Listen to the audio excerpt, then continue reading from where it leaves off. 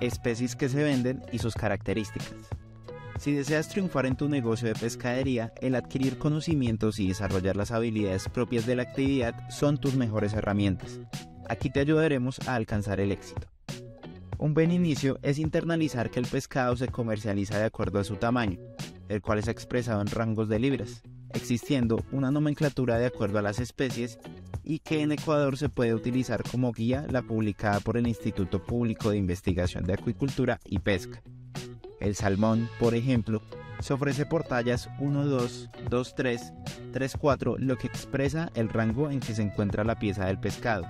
Si la talla es 2, 3, indica que el peso está entre 2 y 3 libras. La exposición del pescado para la venta se hace en diferentes presentaciones. Entero se presenta el pescado completo tal como sale del agua. HGT, el pescado se expone sin cabeza, sin cola y eviscerado. Trozos. Dependiendo del tamaño del pescado, la presentación HGT se parte en trozos de 5 a 7 libras en promedio. Lomo.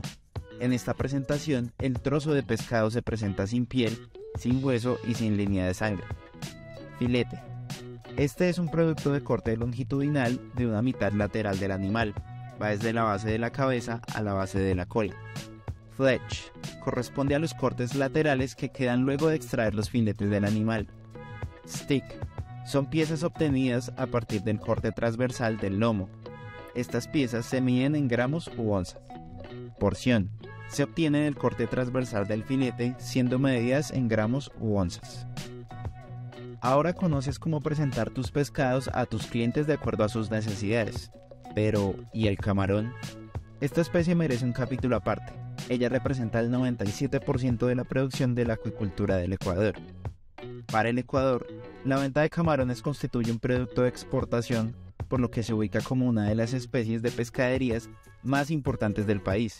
En este sentido, realizar las mejoras prácticas de preparación, conservación y empaque del camarón es una tarea necesaria de las personas responsables de la comercialización del producto. El empaque.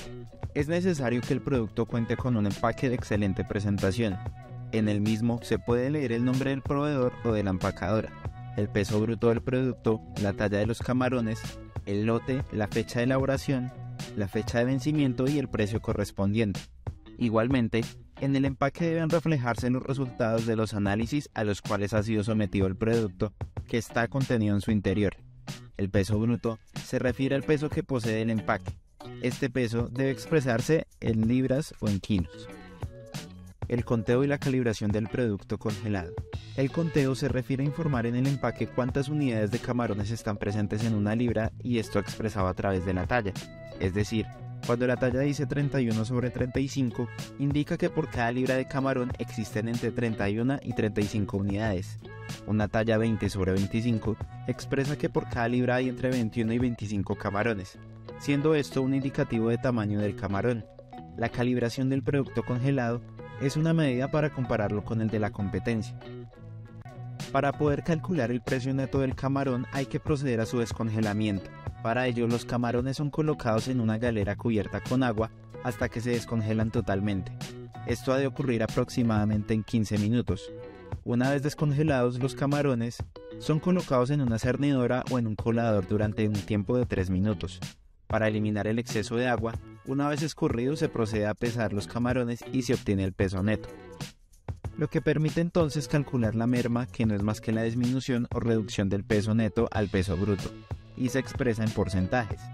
En ese momento se procede a realizar el cálculo del precio real del producto, ya que se ha obtenido lo congelado y glaseado, por lo que haciendo una regla de 3 inversa con respecto al peso neto se obtiene el verdadero precio cancelado por el producto.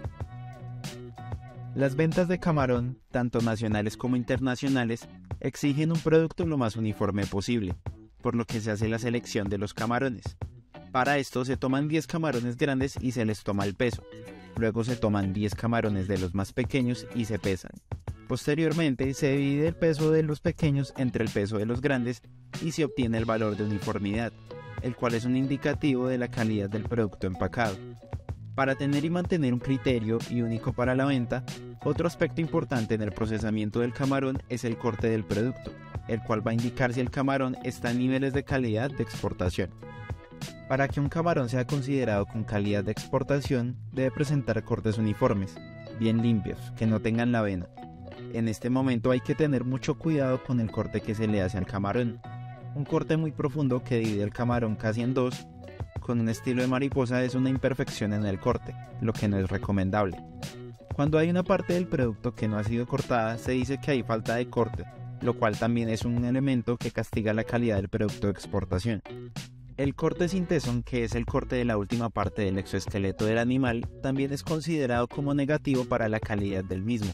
Los cortes deben ser lo más regulares posible para garantizar la uniformidad del producto. Se le debe eliminar la avena, ya que la presencia de la avena se observa claramente y es un elemento de disminución de calidad. Toda esta información reflejada en la tabla de cortes e impurezas le servirá al cliente para comparar los diferentes productos existentes en el mercado y decidirse por el que le ofrezca la mejor calidad para su negocio. Finalmente, los camarones son sujetos a la prueba del sabor, la cual consiste en tomar una muestra del producto y cocinarlo en microondas por 6 minutos, o mantenerlo en agua hirviendo por 3 minutos, enfriarlo con hielo o agua fría y degustarlo. No se debe usar condimentos ni sal, ya que lo que se persigue es captar el sabor natural del producto.